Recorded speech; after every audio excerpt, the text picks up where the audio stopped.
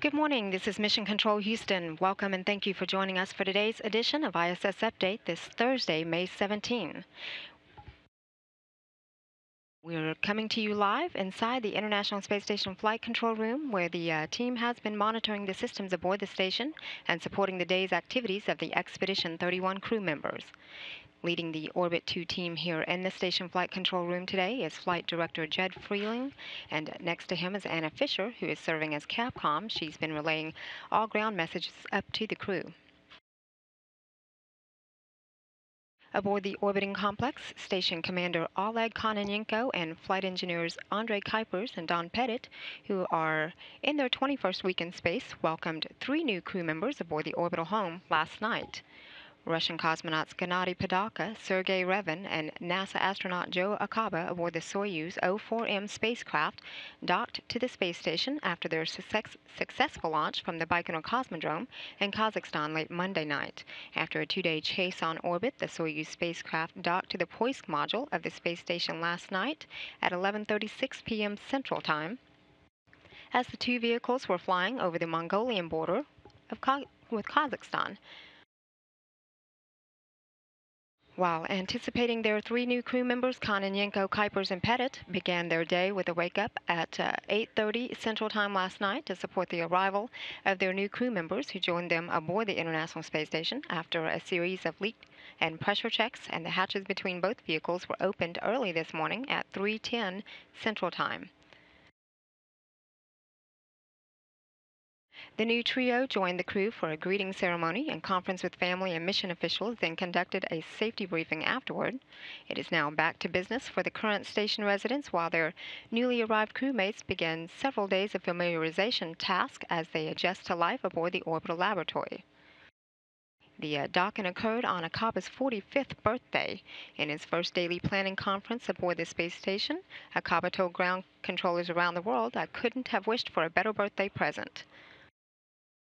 Acaba had previously visited the station in March 2009 aboard the Space Shuttle Discovery as an STS-119 mission specialist. This is uh, Padalka's fourth long-duration spaceflight and his third aboard the station. His first mission was aboard the Russian space station Mir, while uh, Revin is making his first trip into space.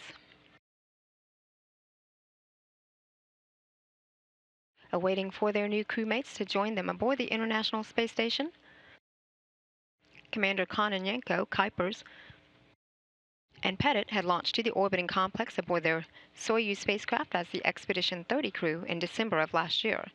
Their vehicle docked to the Rassvet module of the space station two days after their launch on December 23rd. Today, the trio will complete their 149th consecutive day, nearly five months in space.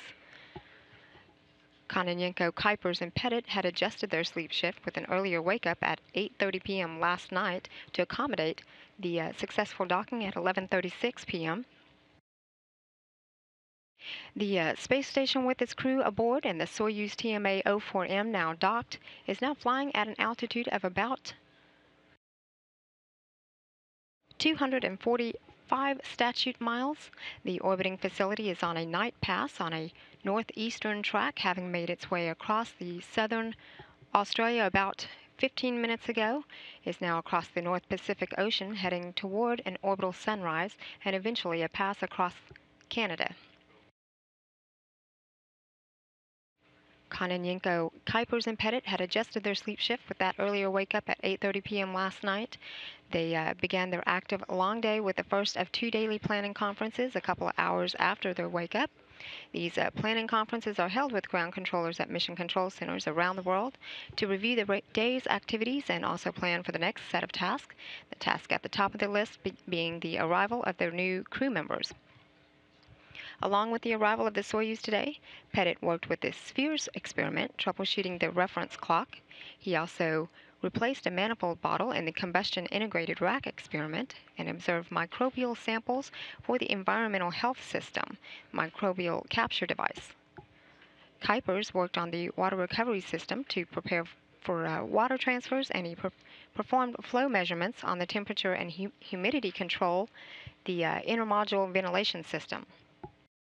And new to the station, NASA astronaut Joe Acaba spent some time setting up his crew quarters area.